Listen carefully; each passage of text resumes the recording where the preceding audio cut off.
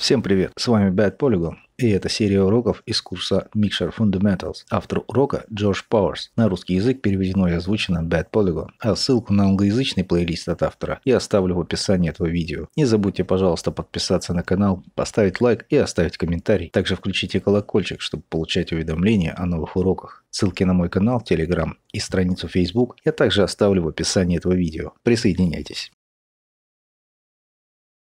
Привет всем, это Джош Пауэрс Quixel, и сегодня мы продолжим наше погружение в миксер Mask Stack, исследуя компонент Noise. Итак, приступим.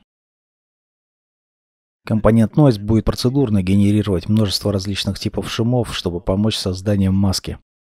В настоящее время существует пять различных типов нойза, каждый из которых имеет свой внешний вид. Есть Simplex, Perlin, Warley 1, 2 и 3.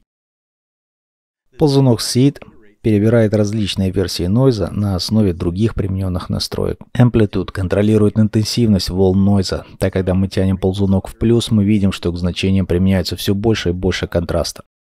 Frequency контролирует количество нойза, следовательно, чем ниже это значение, тем больше детализация, а чем выше это значение, тем она меньше. Октавы контролируют количество октав нойса. Чем больше мы тянем этот ползунок, тем больше видим мелких неровностей в шумовых волнах. Это отличный способ уменьшить процедурный вид шума. Lacunarity контролирует частоту активов, а Persistence контролирует амплитуду или интенсивность активов. И, наконец, Invert и эти базовые настройки действуют одинаково для каждого из режимов Noise. Таким образом, вам не нужно беспокоиться о разных параметрах для каждого из них. Отлично, давайте рассмотрим некоторые способы использования Noise для создания масок наших текстур. Noise чаще всего используется как дополнение, чтобы разбить маски или добавить мелкие детали к текстуре, однако его также можно легко использовать для создания HD-карты самой текстуры. Здесь, прямо над нашим базовым слоем, у нас есть слой Solid. Давайте добавим Mask Stack, а затем перейдем к кнопке Component и добавим шум Warley 3. Мы немного уменьшим Amplitude и Frequency.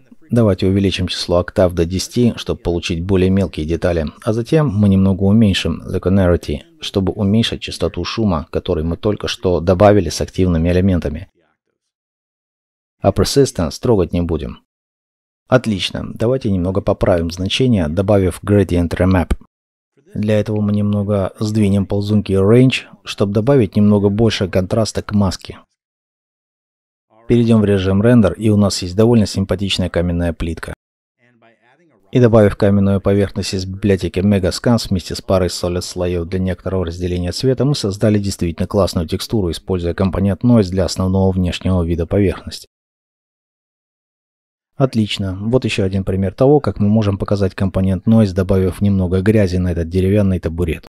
Я продемонстрировал аналогичную технику в предыдущем видео с компонентом Position Gradient, но я использовал компонент Map и отсканированные данные, чтобы создать грязный фоллов. А на этот раз я хочу показать вам, как это можно сделать, используя только процедурные компоненты. Во-первых, мы начнем с активации поверхностного слоя, который я добавил из библиотеки Megascans.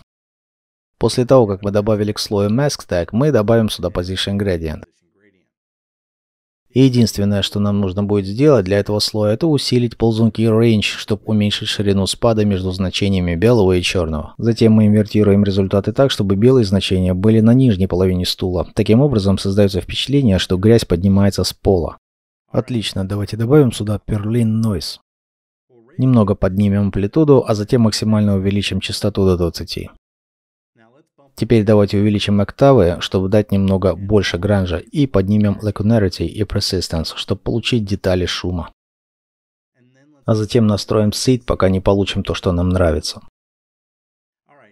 Отлично, теперь мы можем продолжить и установить этот слой на Overlay. И теперь мы увидим шум, присутствующий вдоль спада, разделяющий белую и черную части маски. Проблема в том, что этот прямой угол с линейным фоллов, который кажется не очень естественным.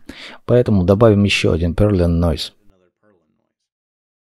Цель этого слоя – устранить линейный спад и прямую кромку, которая у нас есть. Итак, первое, что я сделаю, это подниму Amplitude довольно высоко, чтобы получить несколько очень темных, а также более ярких участков. Я также немного увеличу Frequency, чтобы уменьшить детализацию. Поскольку я хочу, чтобы этот слой удалял фрагменты маски ниже, мне не нужны мелкие детали. Итак, я оставлю октав равным одному.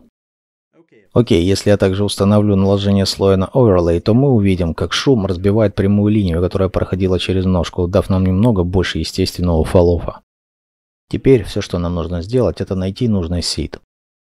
И, наконец, мы можем добавить еще один Perlin Noise. Будем держать amplitude довольно низкой, чтобы контраст был не слишком интенсивным, а затем мы также увеличим frequency, octaves, linearity и persistence, чтобы убедиться, что у нас красивый грязноватый вид. Затем мы установим наложение на Multiply и уменьшим Opacity. Это предотвратит появление полностью белого цвета больших участков, что поможет слою грязи лучше слиться с текстурой стула. И теперь у нас есть грязь и сажа, скопившиеся в нижней части меша. И все это мы сделали без использования каких-либо текстурных данных в маске. Отлично, это был компонент Noise. Надеюсь, это видео помогло вам глубже понять, что делает этот компонент и как работают его настройки. Большое спасибо за просмотр и увидимся в следующий раз.